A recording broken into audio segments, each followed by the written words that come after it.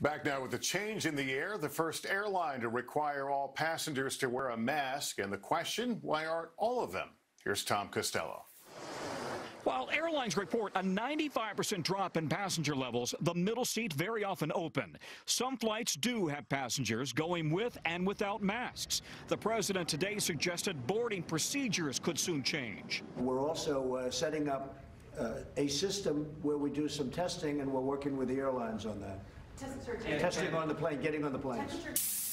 While airlines are deep cleaning their planes, most, not all, require crew members to wear face masks. JetBlue today said it will require passengers to wear masks starting Monday. American says it's considering it. Delta and United recommend passenger masks but don't require them. Southwest doesn't require them of passengers or crew. Several airlines tell NBC News they don't think they can legally require passengers to wear masks, though some aviation attorneys say airlines could easily change their own rules to make it a requirement environment. Canada already does.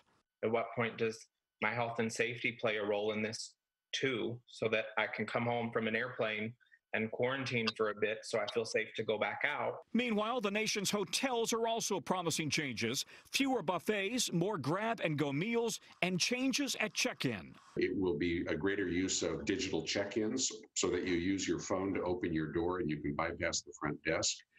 Medical travel experts say every airline, every hotel will have to change. They have to learn it's more than just industrial hygienic cleaning protocols and procedures. It's all about continuing to practice social distancing, universal precautions.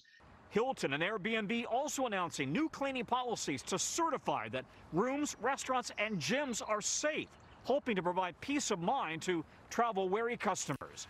Lester. Tom Costello tonight. Thank you.